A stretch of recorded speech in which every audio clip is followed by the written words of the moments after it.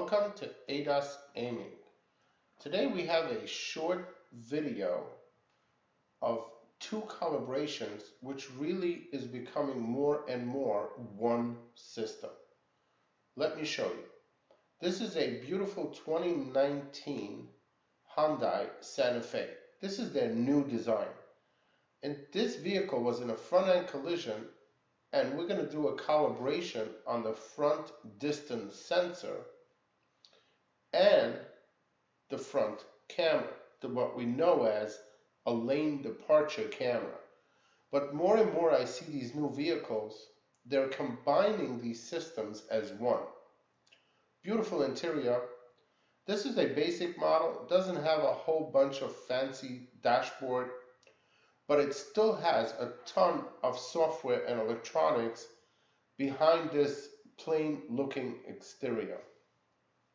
This is a typical dashboard, couple of buttons, radio, display, really nice interior vehicle layout, but it still has, even though this is a manual AC heater system, don't be fooled. It still has electronic actuators that control these doors. It's got electric parking brake, traction. Yes, this is not a push button start. This is a manual key. Powering up the ignition, looking at all the sensors, there are no codes. But this vehicle was crashed in the front and the body shop replaced all the components, the bumper, the fender, and they realigned everything and put it back together. Before this vehicle can go safely on the road, there's a radar hiding right behind that panel. And our job today is to make sure that the radar and the lane departure camera are calibrated to factory specs before we deliver this vehicle. So today we're going to go through both systems using the Hyundai tablet. Hyundai is the first company to put all of their software and service manuals, look at this beautiful illustration pictures, on a Samsung tablet with a VCI interface, which we're not going to get into here. But we're going to go into the service manual and look at the instructions and familiarize ourselves with the system. A lot of people that are doing calibrations and programming and trying to get into this business, which is great to have new new people that are interested coming into the car business, but you need to read everything. These systems incorporate lots of modules in the car, and you first thing you have to do is familiarize with the setup of each system. They're very different from make and model. Once you read over the basic instructions, the basic outlines, now you're ready to move forward and start setting up your process of calibration.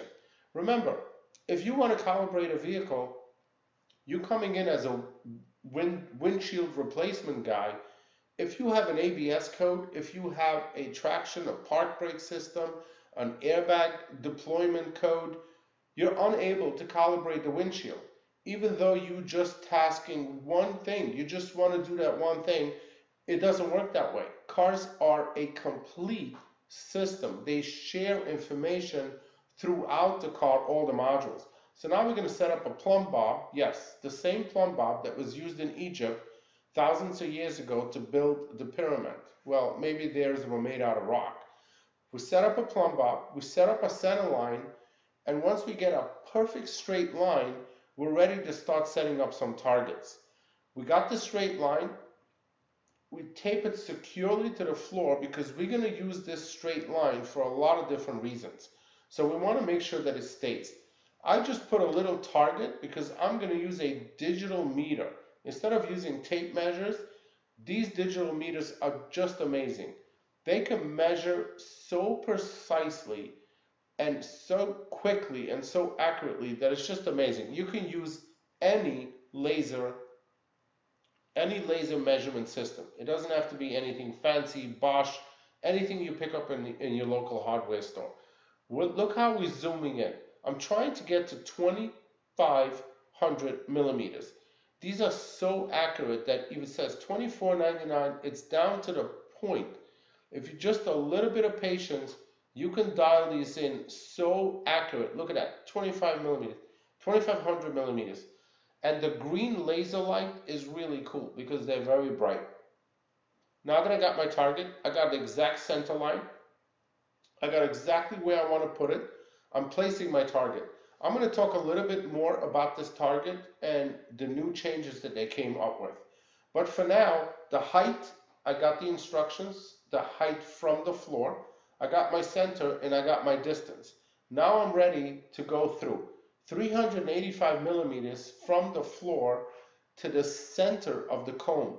This is very important because when the laser light shoots out its signal, it's actually looking for the center and then it shoots out signals on the cone and it can detect in minute mm, billionth of a millisecond that the signals are bouncing back and it, that's how it indicates up, down, left, right. It's an amazing complex system. We're going to go into the instructions and now that we're ready set up, we're going to go into software management. Under software management on this, it gives you all the calibration procedures through that. It's going to give you brief instructions in this menu as well, but you really should read the service manual to make sure. Now it's just giving you all the precautions. Yes, the engine should not be running, ignition on, and this is another thing. The serial number has to be inputted into the system in order for you to figure out the angle that it's supposed to sit. Because it's behind the bumper, we're going to use a digital camera that we're going to angle just correctly to get the sticker on the back of the radar. Each unit is manufactured with a serial lot number. The last two digits of the lot number tells the system when this was manufactured the exact minute differences of how the angle is to make it perfectly straight. The number is 07. So we're going to type in 07 into the tablet of the instructions. Once you hit that, it tells you that it wants you to put it minus 1.7 degree, meaning facing a little bit downwards because that's the mold. You see that red line, that part number? We're going to get to that a little bit later. So we got the adjustment on the radar just perfect. We got our targets perfectly where they want it. Now we can proceed with the calibration. Remember, you cannot have any diagnostic codes in almost any system in the vehicle for you to be successful. It has to be on a level floor. You can't have any other stuff interference. Once you have everything set up right, look, 2.1, which is well within the spec, and the other, the, the actual horizontal was perfect. Now we're going to go back to the service manual and take a quick look on the instructions to program the camera in the windshield. Today's system are sharing information between the windshield camera and the radar. So the actual distance, sign recognition, pedestrian crossing, and there's certain things that a radar is good at detecting, and then there's certain things that a radar is very bad at detecting, so it uses the camera to compensate. So between those two systems, you get a full warning system all around the front of the car, no matter what system you use. So these things work in conjunction. So you have to calibrate both of them. And this is the trend that I'm seeing all the new cars are going. Look at how many systems a Hyundai Santa Fe has. Parking distance. Just look at the menu of systems they are. You need to familiarize with all of it. If you're going to do one system, there's no such thing that you only do air conditioning, you only work on brakes, or you only do an engine tune-up, or you're only going to do windshield replacement. It doesn't work that way. The cars are designed as a complete system. You need to understand how every single system works in a vehicle in order for you to be successful. That's why I'm urging all my viewers start getting the factory software or the factory targets. Do not rely on aftermarket because this information is not available. So now we're getting set up to do the camera calibration. It shows you where the clips are. It shows you where it's supposed to be laying in. It shows you how to remove it, how it's mounted on the windshield. If you don't familiarize yourself with this information, how are you going to know if the camera is in correctly? How do you know that it's in the right spot? How do you know there's no problem?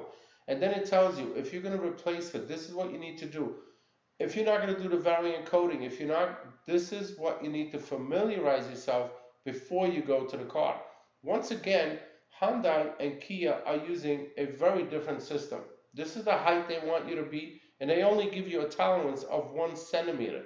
They have two different setups. These are not two options. This is in conjunction. You have to start with the first setup and then you move it in front of the vehicle and you do the second one. So we're going to set up all our targets. Obviously, the first target is right by the front bumper. The other one is at this mark. Let's go back for one minute on the radar target. Radar target does not visually see anything. This is the new part number that Hyundai, Kia, and Genesis, I don't know why it comes in this plastic electrical waterproof box and it's nicely packaged in a foam. But I have a habit of ordering every new product that comes out. I search all the catalogs. So I ordered this a couple of months ago. I didn't know what it was. But then as I'm starting reading the instructions, Hyundai Kia didn't want you to go and replace your target, so they molded and created a larger target that fits on to the original little triangle. And they made these beautiful molded knobs with nuts so you can mount it onto the original one. All the new vehicles are using the larger target.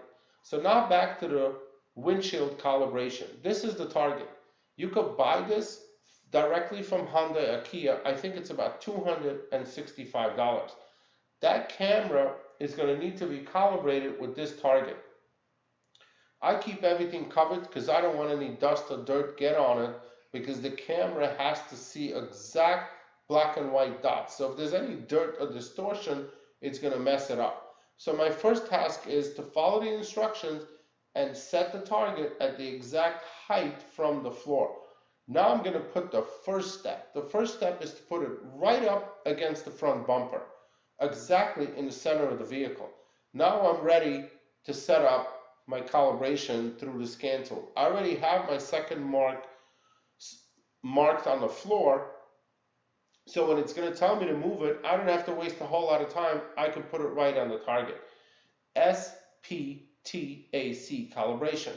So with this, let me show you how you get into it. You get software management, and then we're going to go to the front view camera on the menu, and from here we're going to go into calibration, and that gets you into the menu.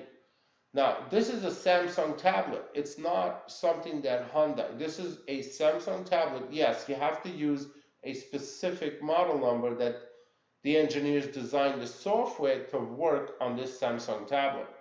We didn't show you in this video the interface. Now it's giving you a brief rundown of what you think. The most important thing is that you have to do it indoor. You can't have any direct light, you can't have any sun glare, you can't have anything blinding the camera. And it gives you all the, this is the same instructions, just a summary of what you read already in the service manual. Now it's calibrating the first step. If everything is measured and correctly, it, this step goes through pretty quickly and it usually doesn't fail. If it fails, maybe it's a new camera, you didn't do the variant coding, maybe there's other codes in the rest of the car, maybe they put the wrong part number, there could be a lot of different reasons. That's why it's important to have original software, original targets, and have the service manual so you understand everything about the car. Now we can move it to the second phase. This is the second step exactly you have to be in center. We already pre-measured it, so now we're ready to move to the second process. Look how fast it takes. Calibration successfully completed.